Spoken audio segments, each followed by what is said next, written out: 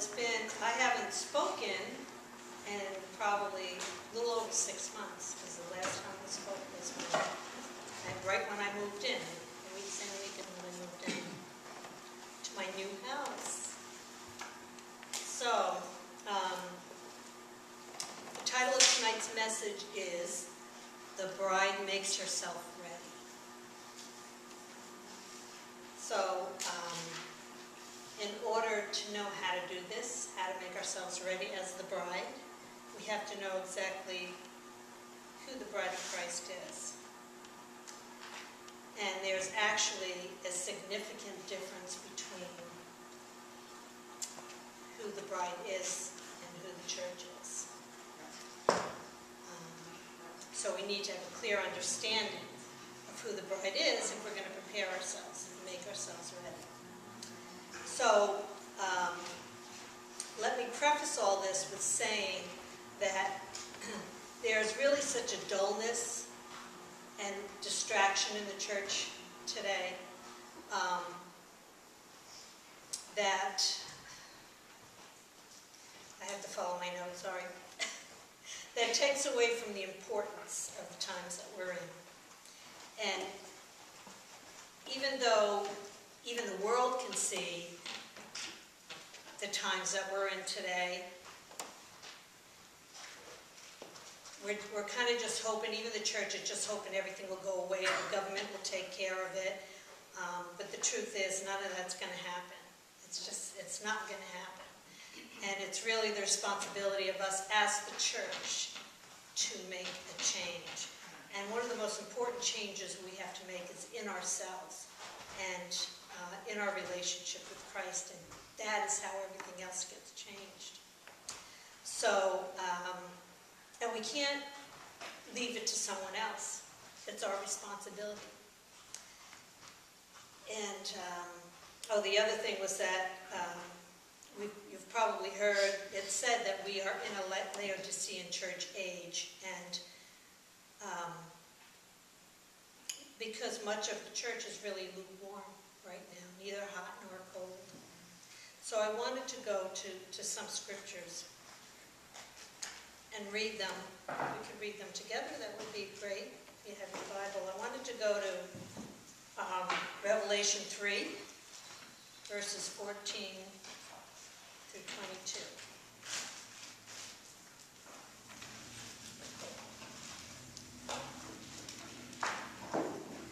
And it says, To the angel of the church in Laodicea, write, These are the words of the Amen, the faithful and true witness, the ruler of God's creation. I know your deeds, that you are neither cold nor hot. I wish you were either one or the other. So because you are lukewarm, neither hot nor cold, I am about to spit you out of my mouth. You say, I'm rich and I have acquired wealth and do not need a thing. But you do not realize that you are wretched, pitiful, poor, blind, and naked. I counsel you to buy gold refined in the fire, so that you can become rich, and white clothes to wear, so you can cover your shameful nakedness, and salve to put on your eyes, so you can see. This is the counsel of the Lord. Those whom I love I rebuke and discipline, so be earnest and repent. Here I am, I stand at the door and knock. If anyone hears my voice and opens the door, I will come in and eat with that person and they with me. And then it goes on to say, to the one who is victorious, I will give the right to sit with me on my throne, just as I was victorious and sat down with my Father on his throne. Whoever has ears, let them hear what the Spirit is saying to the churches. So it sounds to me like he's saying that if we're lukewarm, he's going to spit us out of his mouth. And I know I don't want that. I don't want to be lukewarm, and I don't want him to spit me out of his mouth. Um, and he's counseling us here to buy gold from him that's refined in the fire. Um, when we go through trials and struggles and persecutions, we're to come out as gold on the other end. That's, that's the gold that's refined in the fire. Um, and then the white clothes to wear that, you know, as part of the preparation of the bride, is cleansing ourselves. And eye salve so that we can see the truth and so that we can see into the realm of the Spirit. So, because of dullness and distraction, and because of this lukewarmness, God, who loves us with an unfailing love, in His mercy, will bring a shaking to awaken us. So He can either awaken us with a kiss, or He can awaken us with a shaking. And unfortunately, I think we're going to the shaking thing. Um, and it's not the, the, the world that He's shaking, it's the church that He's shaking. Because he, he wants to awaken the church. We need, we really need to wake up. Um, okay. And this, this other really important point is that um, many in the church, and there's a lot of teaching on this uh, too, it's, it's, like futuristic te teaching, that there's plenty of time. We've got plenty of time before the end of the age comes. And the reality is we don't have plenty of time. And the reality is the end of the age is not in the future. The end of the age is now. And it's critical. We're, we're in this, the beginning stages of the end of the age. And we, we need to be prepared. We need to be ready for this time and this season. We can't wait for some time down the road that it's going to happen. Uh, the church still thinks that it can flirt with the world and look like the world, but we're called as the church to be separate, to be set apart, because we're not of this world.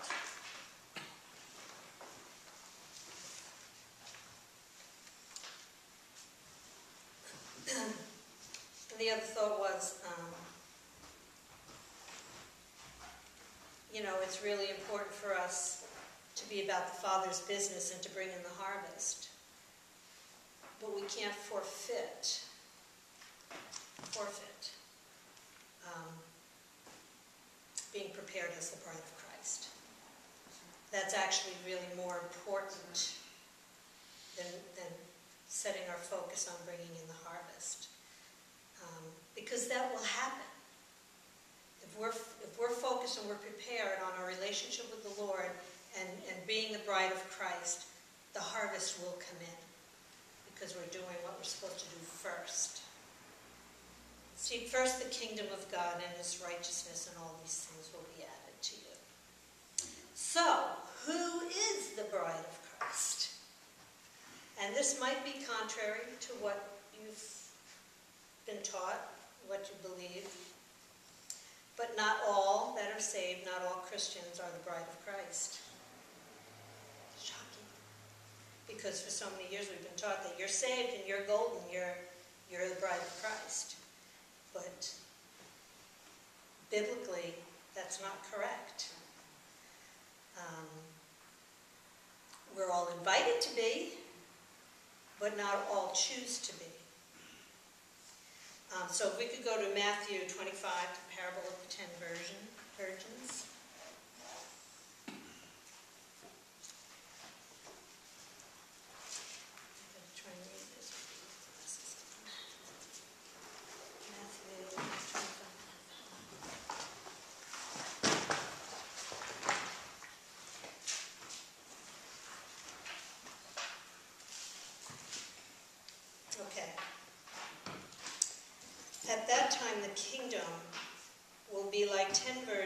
Virgins who took their lamps and went out to meet the bridegroom. Five of them were foolish and five were wise. The foolish ones took their lamps but did not take any oil with them. The wise, however, took oil in jars along with their lamps. The bridegroom was a long time in coming, and they all became drowsy and fell asleep. At midnight the cry rang out, Here's the bridegroom, come out to meet him. Then all the virgins woke up and trimmed their lamps. The foolish ones, I'm having a hard time saying this, it's so tiny. The foolish ones said to the wise, Give us some of your oil. Our lamps are going out. No, they replied, there may not be enough for both us and you. Instead, go to those who sell oil and buy some for yourselves. But while they were on their way to buy the oil, the bridegroom arrived. The virgins who were ready went in to him to the wedding banquet, and the door was shut. Later the others came. Sir, sir, they said, open the door to, for us. But the reply, that he replied, I tell you the truth, I don't know you. Therefore keep watch, because you do not, do not know the day or the hour. So that's talking about preparedness and being ready right there. There were five wise virgins and there were five foolish virgins. And this is not talking about the saved and the unsaved, this is talking about the church. Um, in the first century, to start any kind of congregation, you had to have ten men, and that was called a minyan. And those ten men represented the church as a whole, and that's why they use this number because it's representing the whole body of Christ. Five of the virgins were diligent to keep the word of God burning in their hearts, which is represented by the lamps. Your word is a lamp to my feet and a light to my path. But the other five were lazy about it, not keeping the word, not letting it burn in their hearts and transform them. They had a form of godliness. When they returned, the bridegroom had already come and the door was closed. Now, in a Hebrew wedding, all the guests would arrive, but there would be no um, celebration or reception until after the consummation of the consummation of the marriage. And what would happen is the bride and the groom would go behind a closed door and consummate the marriage. And the guests would be all on the other side, waiting. And there would be a guy, like the best man, who would stand by the door and, and guarding the door that no one would come in. And when the, the marriage was consummated, they would come out and the celebration would begin. So once the bride and the bridegroom are behind the door, there's no knocking on the door and saying, let me in, which is what they were doing. This was a no-no. Um, and the bridegroom's reply to them was, I tell you the truth, I don't know you. And he's not saying that he doesn't, what he's saying is, I don't know you in this way. This place is reserved for those who are close to me. See, they're still the family of God, but they're not the bride. Because the, that place of the bride is reserved for those who are close to him. So the overlying principle in this parable of the ten virgin, virgins is um, that the church needs to be ready. We need to be ready for the coming of the bridegroom. And that's really what this message is about, is, is just to exhort us to be ready for the bridegroom.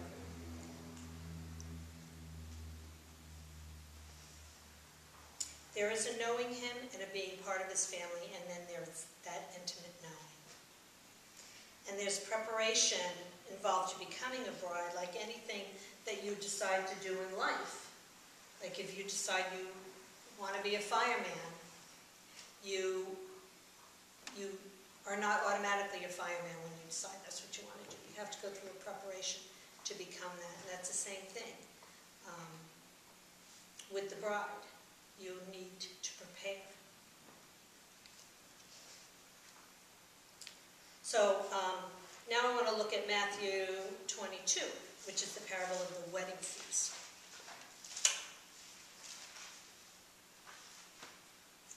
And it's all in red letters. It's hard to read, it's so tiny.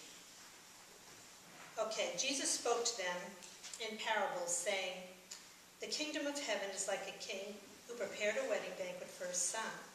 He sent his, feet, he sent his servant to those who had been invited to the banquet to tell them to come, but they refused to come. Now the servants are his prophets. Then he sent some more servants and said, Tell those who have been invited that I have prepared my dinner. My oxen and fattened cattle have been butchered, and everything is ready. Come to the wedding banquet. But they paid no attention and went off, one to his field, another to his business. The rest seized his servants, mistreated them, and killed them. The king was enraged. He sent his army and destroyed those murderers and burned their city. Then he said to his servants, The wedding banquet is ready, for those I invited did not deserve to come. Go to the street corners and invite to the banquet anyone you find. So the servants went out into the streets and gathered all the people they could find, both good and bad. And the wedding hall was filled with guests. But when the king came in to see the guests, he noticed a man there who was not wearing wedding clothes. Friend, he asked, how did you get in here without wedding clothes? The man was speechless. Then the king said to the attendants, Tie him hand and foot and throw him outside into the darkness, where there will be weeping and gnashing of teeth. For many are invited, but few are chosen. So here we see that there, there, there is a distinction because when when you think about it, who are those who are coming to the feast? First of all, to the wedding feast. They're not the bride. They're really, it's the church who's coming to the feast, those who are not the bride. Um, God is sending his servants, his prophets, to the people. They pay no attention to him. They even stone them. They stone the prophets. Verse 9 and 10 said the bad, uh, you know, the bad and the good. They invited the, well, the bad and the good, which doesn't really mean sinners and, and saved. It means those who actually follow the Word of God and those who really don't follow the Word of God. They're, they're Christians who, some of them are just saved and they're just happy like that. They don't want to go any further. Um, because he's not invited to the wedding banquet the sinners. Only the saved are coming to the, to the wedding banquet. Um,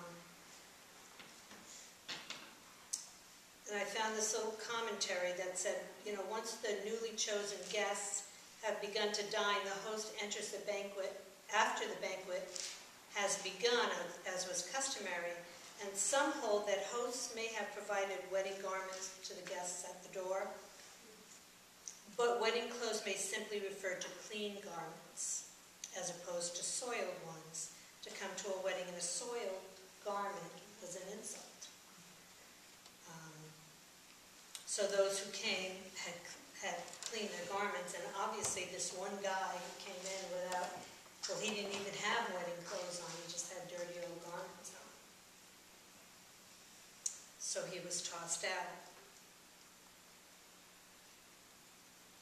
Just as most of the Jewish leaders were unprepared at Jesus' first coming, some professing disciples of Jesus will be unprepared at his second.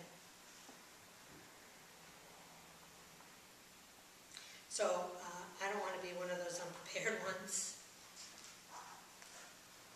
So are we guests that have been invited to the wedding banquet or, or are we the bride?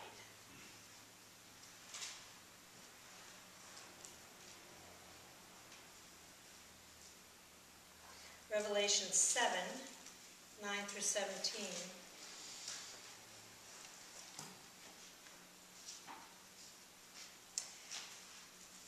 The great multitude in white robes. After this I looked, and there before me was a great multitude that no one could count, from every nation, tribe, people, and language, standing before the throne and in front of the Lamb. They were wearing white robes and were holding palm branches in their hands.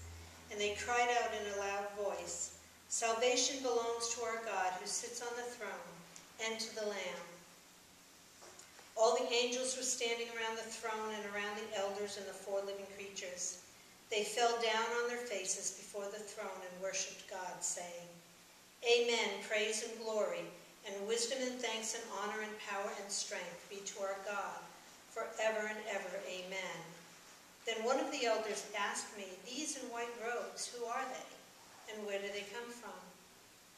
I answered, Sir, you know. And he said, These are they who have come out of the great tribulation. They have washed their robes and made them white in the blood of Jesus. Therefore they are before the throne of God and serve him day and night in his temple. And he who sits on the throne will spread his tent over them. Never again will they hunger, never again will they thirst. The sun will not beat upon them, nor there any scorching heat. For the Lamb at the center of the throne will be their shepherd. He will lead them to springs of living water, and God will wipe away every tear from their eyes.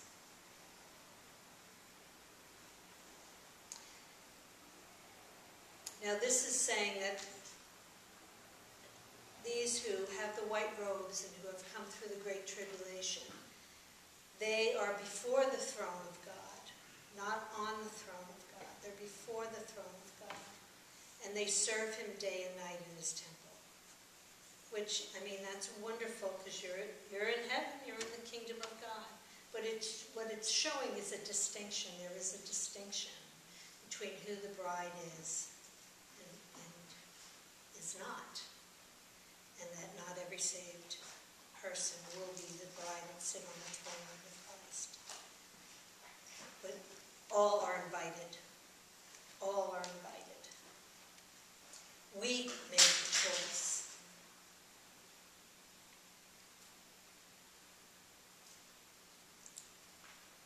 And just as another little example of the different levels, there are different levels and different places in heaven that people are going to be.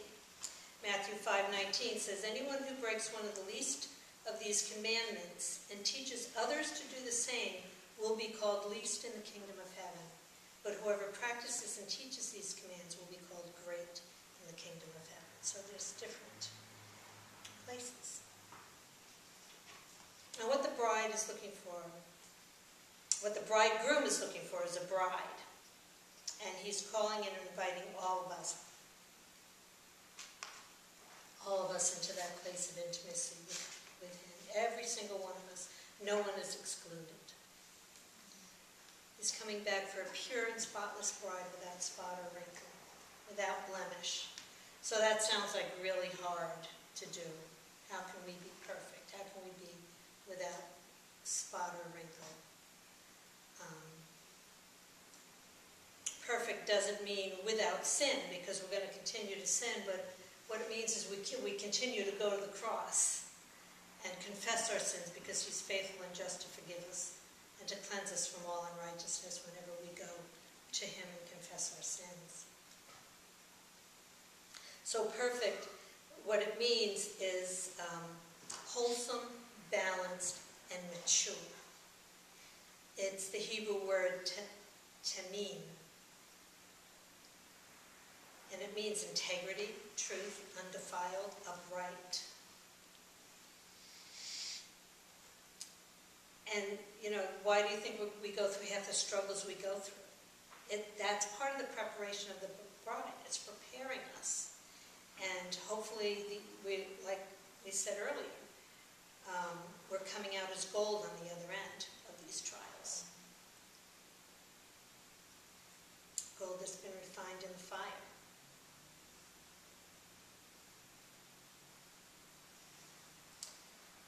So, um, how do we prepare and how do we into becoming the bride?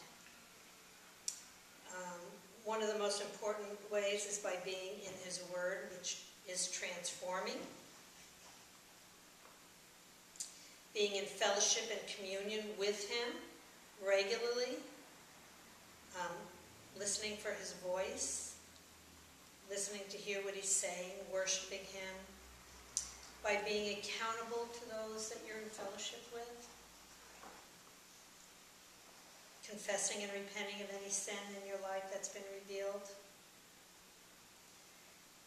asking for more hunger, part of what we were doing tonight, asking for more hunger, repenting of any sin. Oh, I said that already, in our life that he reveals. Hunger is one of the greatest gifts that we can have. And my prayer is that we, we not be like the Laodicean church that's lukewarm. That we pray for hunger and passion. I think that's part of what we need to do to prepare as the bride is praying for holy desperation, for more of Him.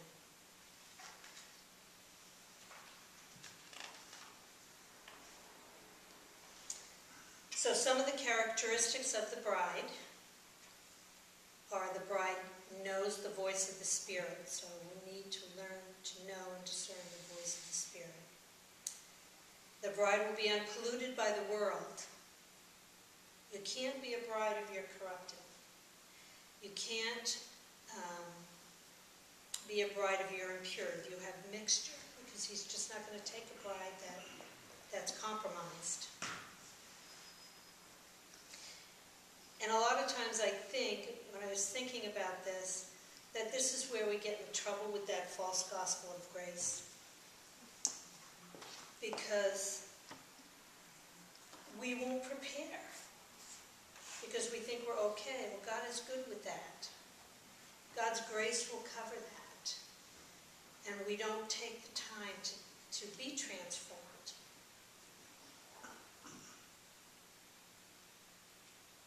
And the other thing that false gospel of grace does is it removes from us the fear of God. How can we have a fear of God if we're not, if we think His grace is just going to cover everything and we can, we can do what we want? Fear of God creates wisdom, and wisdom allows knowledge that brings understanding. We must have a fear of God. We must have a fear of the God is bounding in grace. There's plenty of it, but we need to apply it the right way. And we can't use it as an excuse to do what we want to do. The bride is holy. The bride is an overcomer. The bride is sanctified. The bride is peculiar. The bride should stick out in a crowd. We should not look like everybody else. And I'm not just talking about the world, I'm talking about in the church. The bride just does not look like everyone else in the church.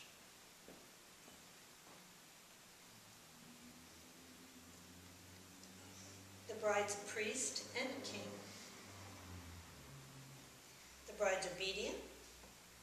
The bride will display the gifts of the Spirit. The bride speaks for the king. And today I read this, um, Keith Davis sent something out.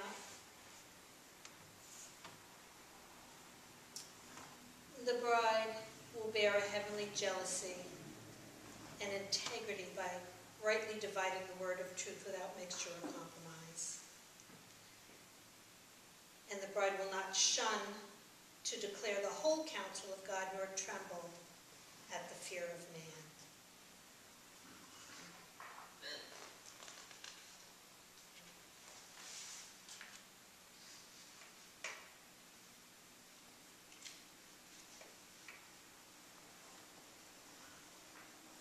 It's a process that, that we go through. It's a prep, that's, that's the preparation to becoming the bride. You know, we'll get to that place where we fearlessly and boldly get out there and proclaim the Word of God. And, you know, if God calls us to go into a church and maybe speak to the pastor or whoever saying that you have compromise in your church, you have mixture here, whatever. You can't fear man. You're, there needs to be a holy jealousy for the truth.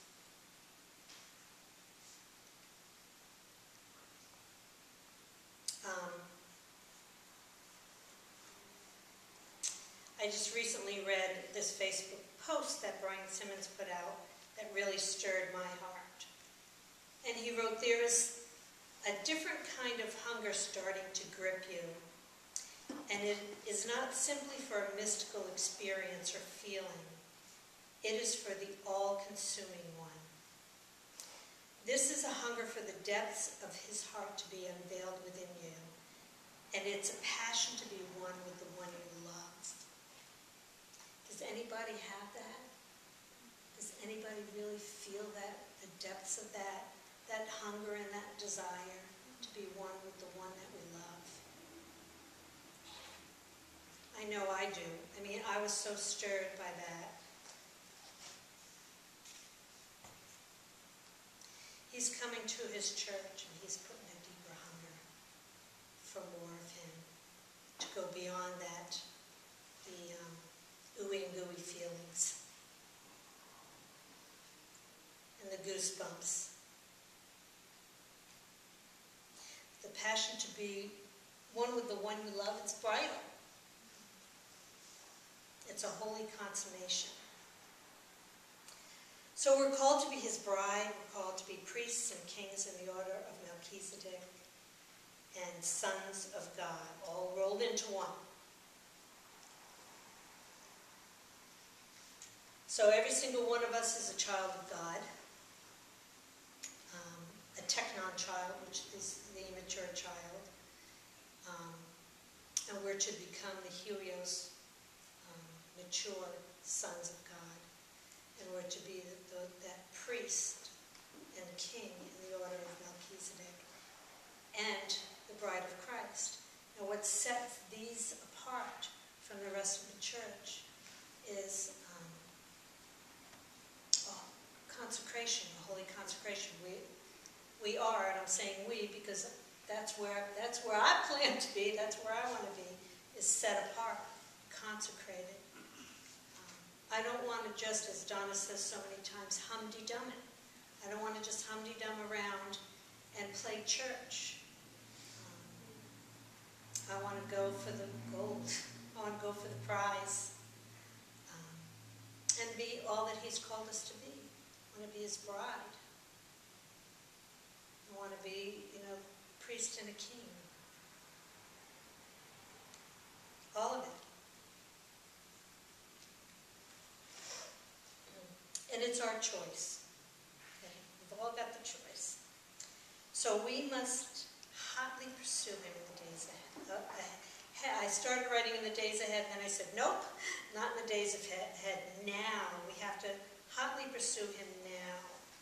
Um, now is the time that we are required to live in the unseen realm. It's not down the road. It's now. It's today. We have to begin. We have to it's better to prepare in the times of peace. Because when, when, you know, the junk hits the fan, it's not a good time to be preparing because you're in the thick of it. So we need to prepare now because it's not very far down the road when the stuff will hit the fan. And so now is the time.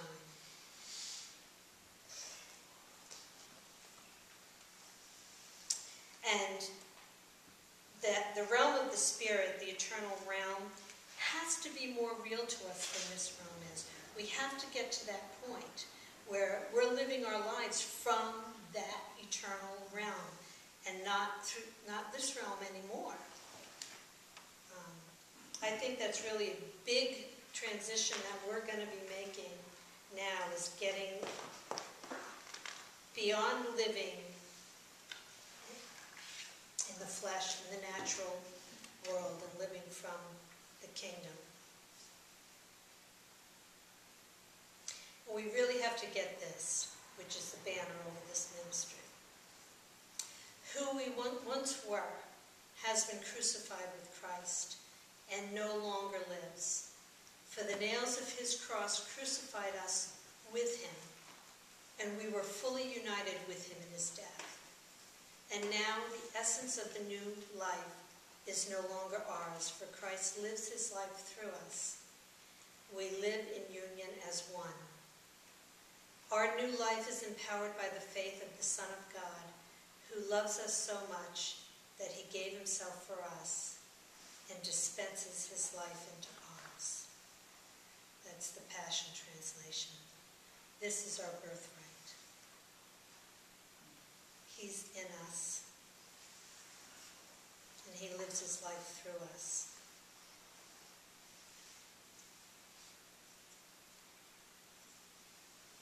I had always wondered, you know, about the scripture that says that God loved Jacob, but he hated Esau. And I thought, God hates Esau, and Jacob's the one who deceived, you know, and sort of tricked Esau into his birthright for a bowl of soup and deceived his father into thinking he was Esau. Um, but what it really was is that God loved the heart of Jacob because Jacob had a heart and a desire for the things of God, where Esau despised his birthright. He despised his birthright. That's what God hated. He hates it when we ignore what, he, what he's done for us and what he's given us. And when we don't step into what he's giving us, it breaks his heart. But he loves it when we have that hunger and that passion and that desire for him, and he meets us in that place.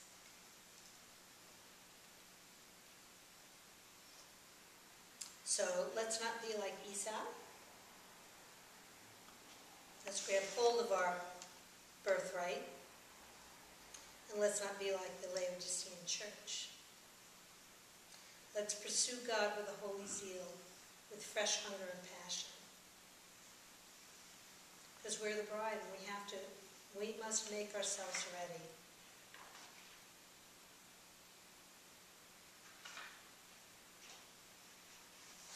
So I thought uh,